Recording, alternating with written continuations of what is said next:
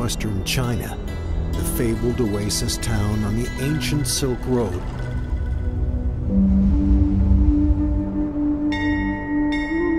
Has fascinated people with the splendor of its wall paintings, the merchants ringing camel bells, and its history and legend shrouded in mystery.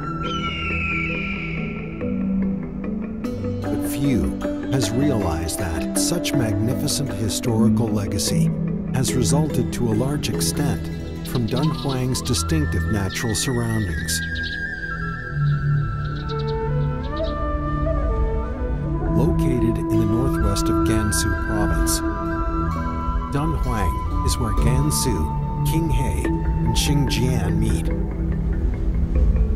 The winds from the Kumutag Desert in the west carry millennium-old sands in constant assaults on the town. Meanwhile, the Shule River nurtures it with water from the snow mountains.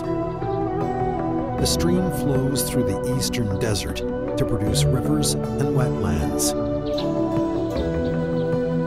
These together serve as the last defense for ecological balance in western Gansu.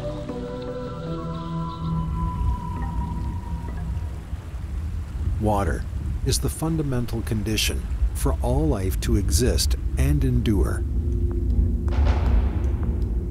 With high temperatures through the year and an annual precipitation below 39 millimeters, the Gobi Desert is a parched land. Faced with such a harsh environment, only the most tenacious and adaptable species can manage to survive and multiply.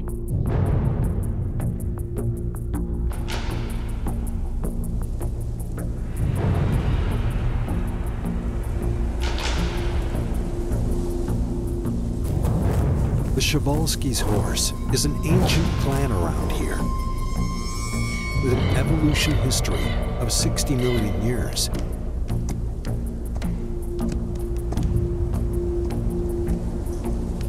These are the last wild horses on Earth.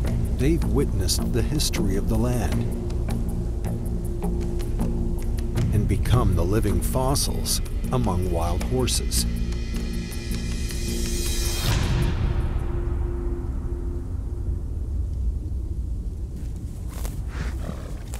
As a highly socialized herd species, they follow a strict hierarchy.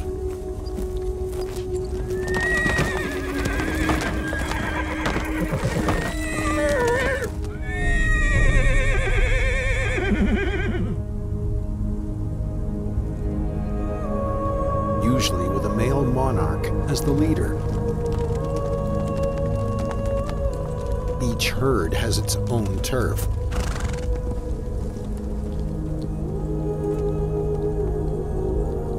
Stable social relations and coordinated efforts are the secrets that have sustained the species in the harsh desert environment.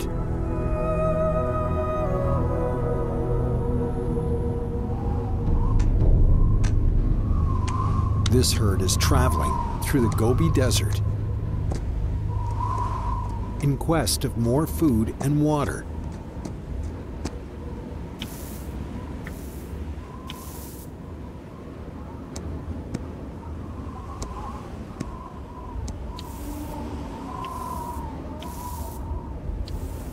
brief tranquility is to be shattered by an unexpected guest.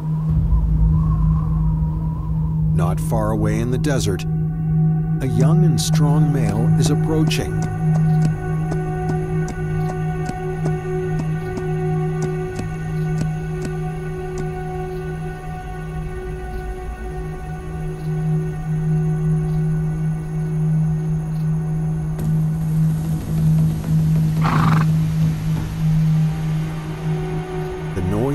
And soon alerts the old king to the menacing stranger.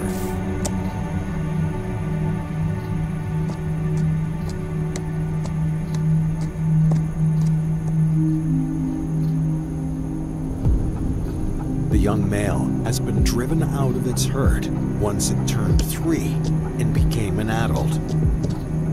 The solitary roaming has given it an impressive physique.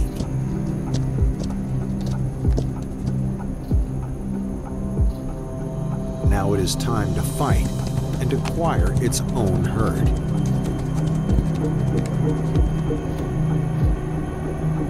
To possess their own turf and a stable clan and mating rights is an aspiration shared by all males.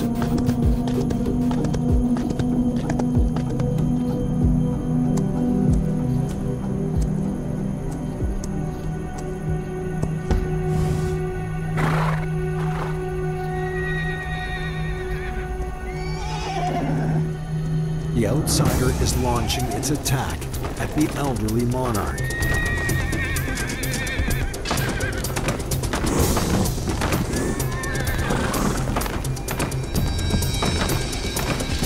But its advance is effortlessly thwarted.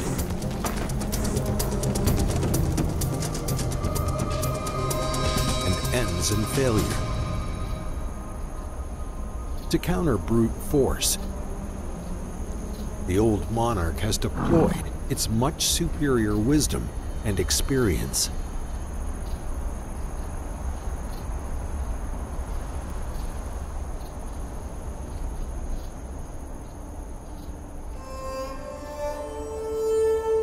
The harsh surroundings and threat of ambitious intruders have made the monarch realize the cruelty of his perilous position.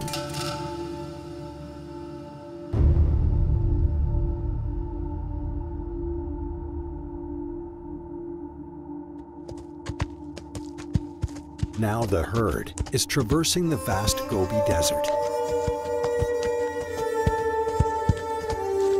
If they keep feeding on one piece of land, the food resource will soon be depleted.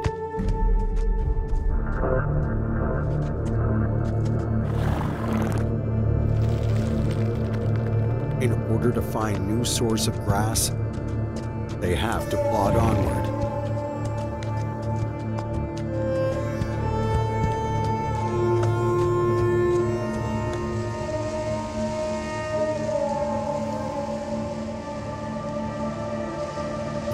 Is here. But the temperatures in the desert remain above 30 degrees Celsius. Under the scorching sunlight, the ground temperatures can reach around 40 to 50 degrees Celsius. The oppressive heat poses a fatal threat to many creatures but it can hardly affect the desert's most hardy resident, the toad-headed lizard.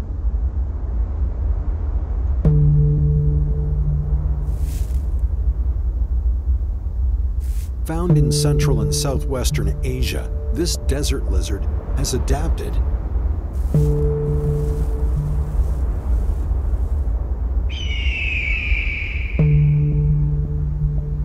to the endless winds in its habitat by evolving hardened eyelids to replace the lashes. When its body requires more heat, the lizard would lie on the ground to take in the sun's energy, modulating its temperatures within minutes. Then it will flail its nimble limbs to churn the sand and grits.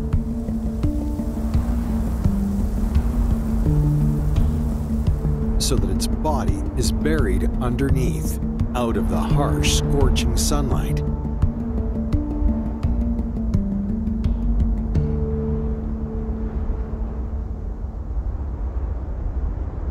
With the global climate change, the river valley once crisscrossed with streams, since time immemorial, has dried up and become hot.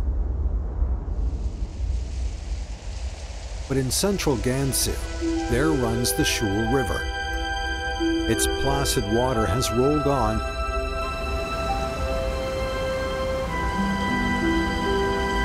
for thousands of years through the basins and deserts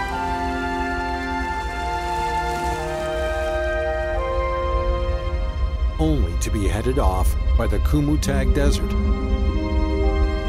and scatter into a dreamscape dotted by tiny lakes.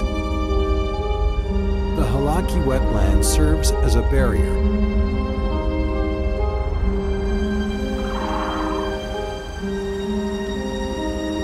against the desert's eastward invasion.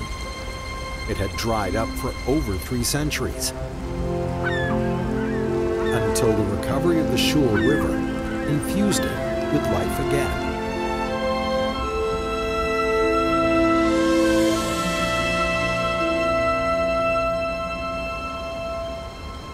The banks of Shule River are lined by luxuriant reeds and salt cedars. For the wild horses, this is a perfect grazing ground.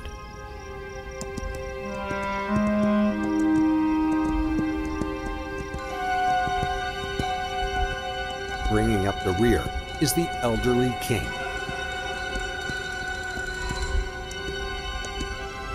It must make sure that each and every of the herd arrives safe and sound, with no one left behind.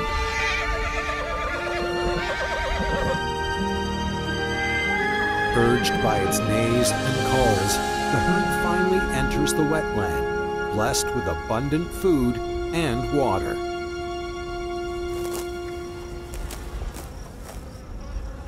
Autumn is here, and they have to value every opportunity for feeding.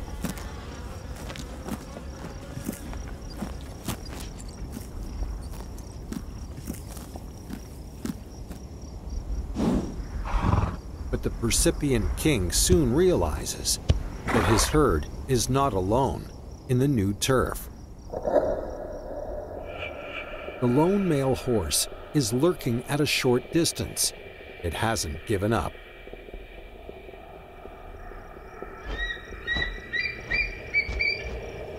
The young male doesn't give the old king much time to prepare.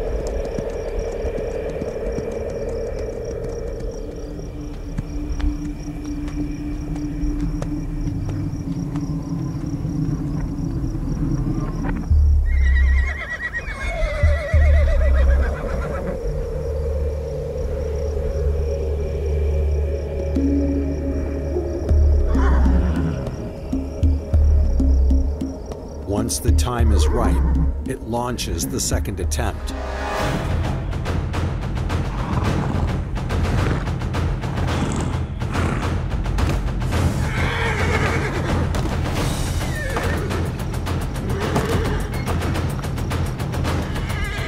Ferocious as it may seem, the attack is not effective.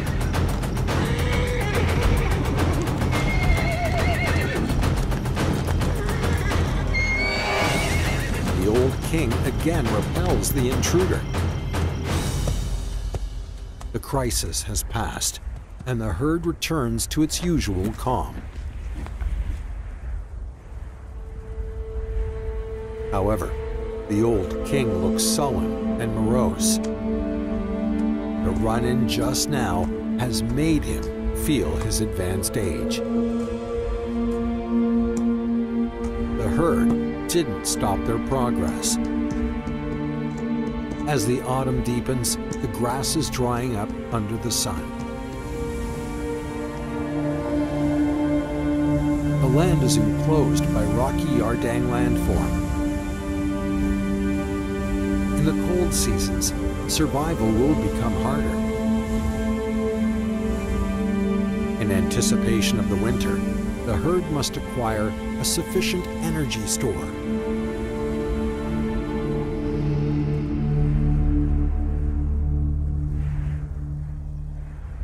A mound with sheer bare sides is the definition of the word Yardang in the Uyghur language. About 30 million years ago, this spot was under the ocean.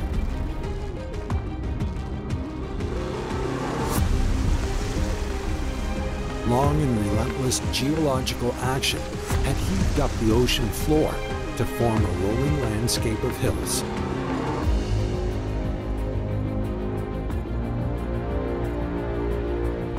Constant erosion of flowing water had sculpted these sheer cliffs. Thousands of years of weathering had shaped them into stone pillars, stone drums, and bridges.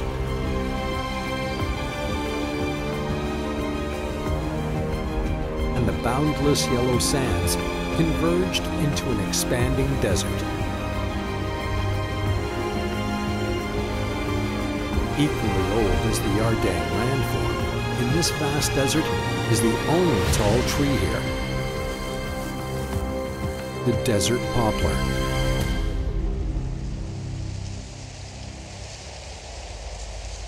To survive in the desert, the desert poplar has come up with a wise strategy.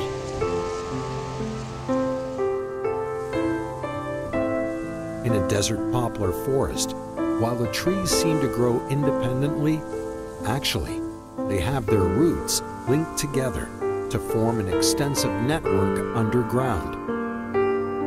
The well-developed root system is a way to share the water source. It has made the forest viable and ensured the continued multiplication of the species. The long drought periods have made the desert poplar realize the preciousness of every drop of water. In order to survive, it has to absorb from the saline alkali soils the salty and bitter underground water. For any plant species, such water is fatal to drink. It's no exception for the desert poplar, but the hardy tree has a special solution. The lesions on its trunk are dripping a brownish goo all year long. This is how the trees expel the saline alkali waste matter. This is widely known as desert poplar's teardrops.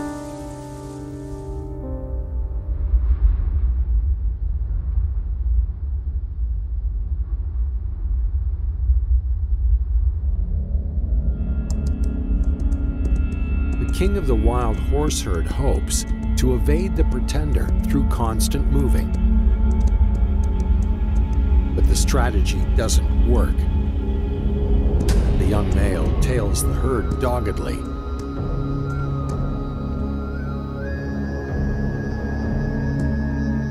The old king now realizes what a troublesome rival he has to handle.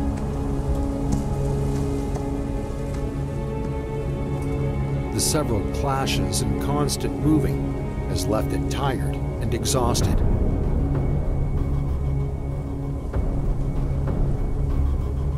But the old king is aware that defeat will cost it the rule over the herd. Leave him to die alone.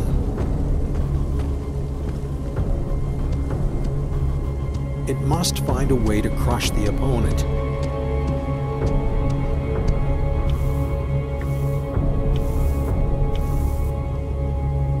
This time, the old king strikes out first.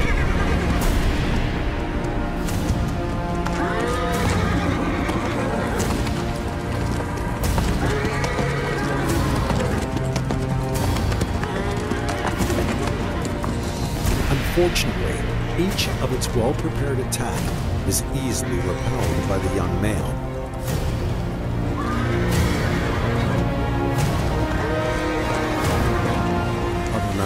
Herd have acutely sensed the shift in power. Perhaps this is the moment of truth.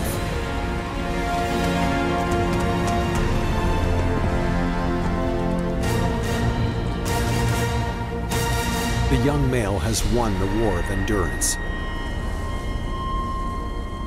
This means that it is replacing the old king to become the herd's leader and take over all the females.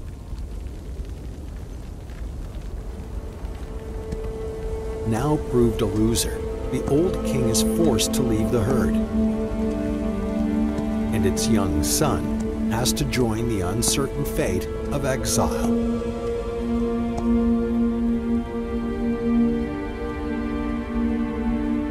The old king and its young son wander away from the herd.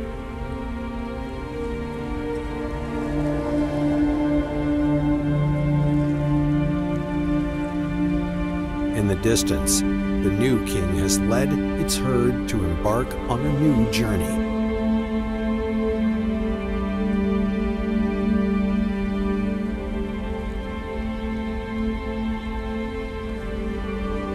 The old king opens its mouth to call, but only its young son answers. They are now two solitary figures under the vast sky.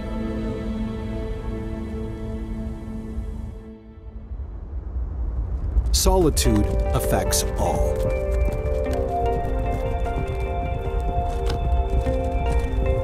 In the land of desolation, lives another ancient and rare species,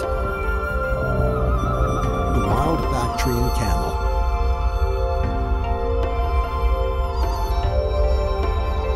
They are the only camels on Earth living in the wild today. Vigilant creature, they prefer to stay deep in the desert and keep to themselves.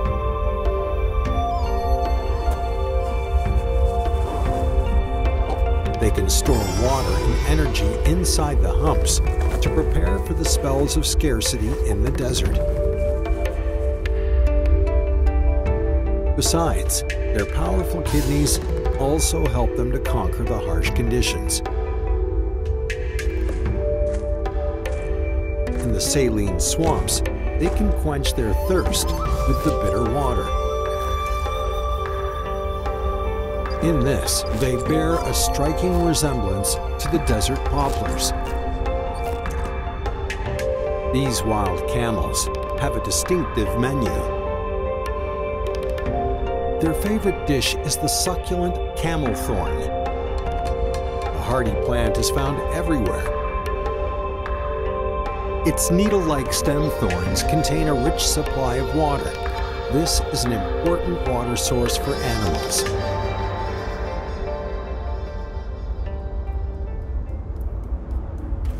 The leaves of desert poplars are an essential item on the camel's menu. As desert poplars pursue the underground water, the camel follows the poplars.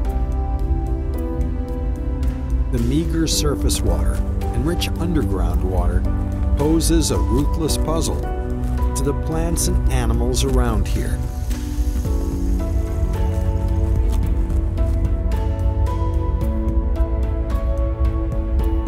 But the camels have used their wisdom to turn the puzzle into an elixir to sustain their life.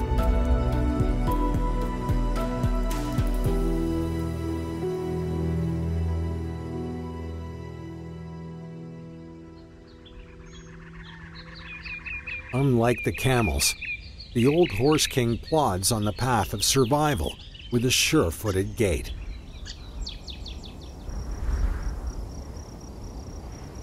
although it knows the location of each and every oasis and water source. Without the herd, it cannot expect to procreate.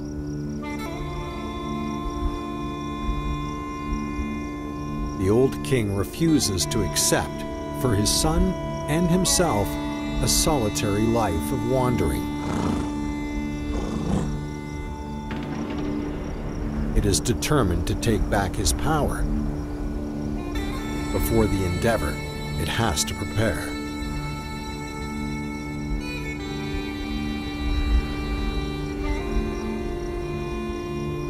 After days of rest and recuperation, the old king takes its young son on the quest for its herd.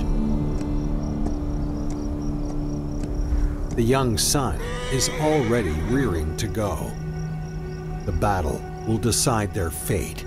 It will be his best coming of age gift.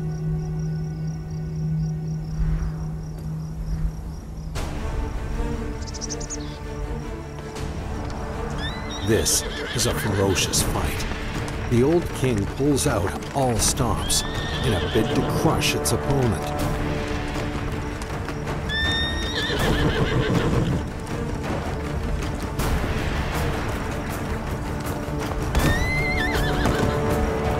But his aging body renders the assaults ineffective.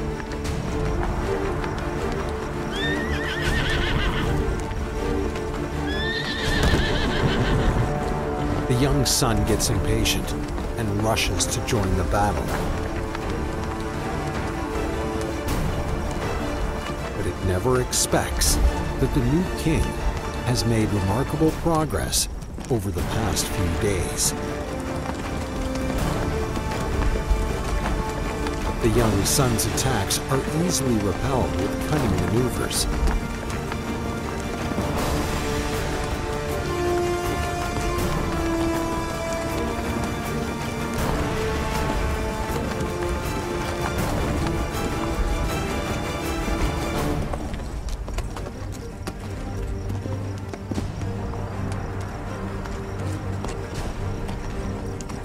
King's strong physique allows it to thwart the old king's attacks with effortless grace.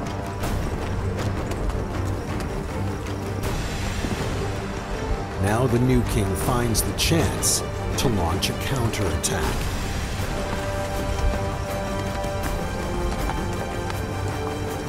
Its fierce bites have clinched the final victory.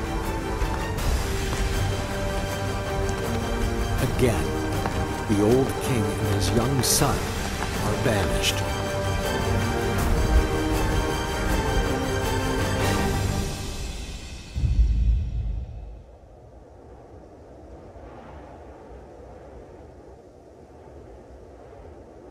The old king has realized that his era is gone. Its aging body can't resist the challenges from the next generation. But an even worse discovery awaits it. The young son has received a grievous wound during the battle.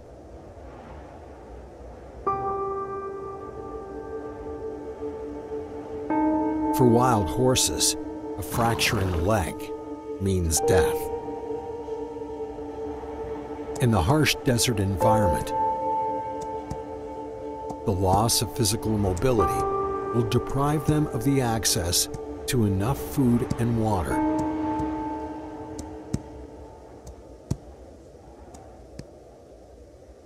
This perhaps is an enaction of life's cycle. The old king and its young son, like all creatures in the western desert, have to endure the harsh sun and bitter cold, as well as the lack of resources. They have to strive against many tests and the harsh rules of survival for their continued existence. For this reason, over the course of evolution, they have acquired the wisdom to adapt and the unconquerable will for life. The ancient desert in western Gansu, under the guardianship of humanity, will maintain its exuberant life force.